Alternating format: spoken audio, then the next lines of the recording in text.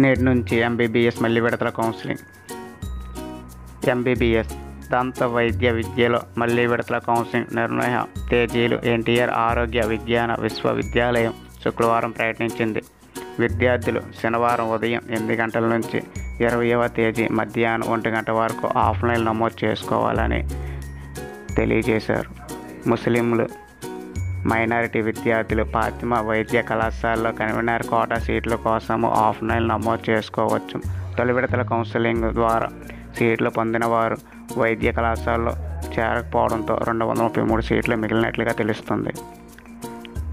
ప్రభుత్వ వైద్య కళాశాలలో పదిహేను శాతం ఎంబీబీఎస్ సీట్లు జాతీయ స్థాయిలో భర్తీ చేసినట్లుగా తెలుస్తుంది. ఈ జాబితాలో రాష్ట్ర కోటా నుంచి వెళ్ళిన సీట్లు అరవై నాలుగు మిగిలి మిగిలాయి. అదేవిధంగా చూసినట్టయితే వీటిని మళ్ళీ విడత కౌన్సిలింగ్ జాబితాల్లో చేర్చినట్లుగా తెలుస్తుంది. సీట్లు వచ్చినప్పటికీ చేరని వారు కూడా ఆఫ్లైన్లో నమోదు చేసుకోవచ్చు.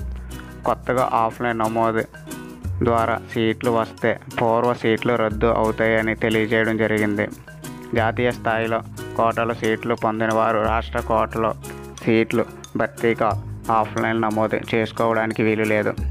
పూర్తి వివరాలు విశ్వవిద్యాలయ వెబ్సైట్లో ఉన్నాయి. వాటికి సంబంధించిన వివరాలు మనం ఈ వెబ్సైట్లో లాగిన్ అయినట్టయితే మనకు తెలుస్తుంది. సుప్రీంకోర్టు ఆదేశాల మేరకు భారత వైద్య విద్య మండలి ఆగస్టు ముప్పై ఒకటవ తేదీ కల్లా ప్రవేశాలు పూర్తి చేయాలని ఆదేశం జారీ చేసింది. అదేవిధంగా మా యొక్క ఇన్ఫర్మేషన్ మీకు నచ్చినట్లయితే please subscribe with your student education channel. Thank you for watch